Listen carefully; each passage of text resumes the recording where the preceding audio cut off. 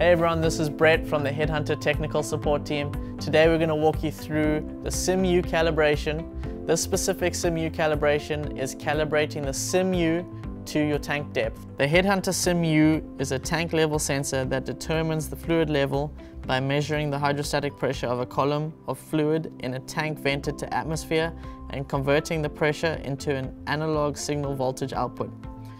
The SYM-U in its native calibration delivers a varying voltage signal with its full 4.7 VDC output at a depth of 133 inches of water column. It can also be calibrated to deliver its full voltage signal of 4.7 VDC in tanks with depths as shallow as 5 inches and be calibrated anywhere from 5 inches to 133 inches.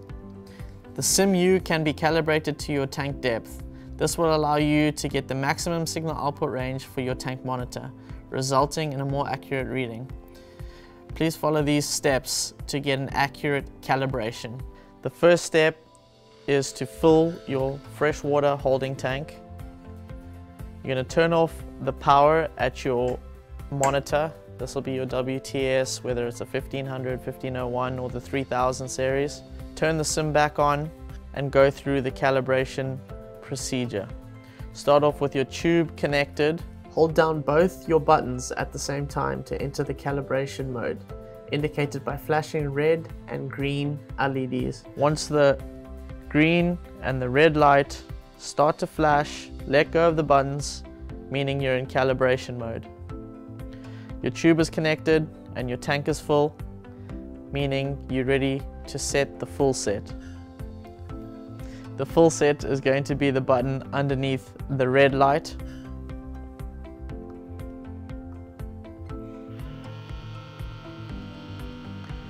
Give this some 15 seconds to purge. Right now it's gauging how much hydrostatic pressure is on the tube into the tank. Disconnect your tube.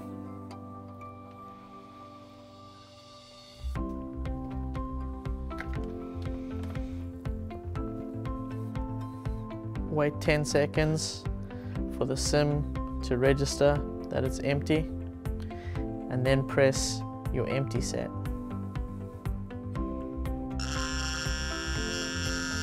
The current pressure has been set as the full value. Let the sim purge for 10 to 15 seconds.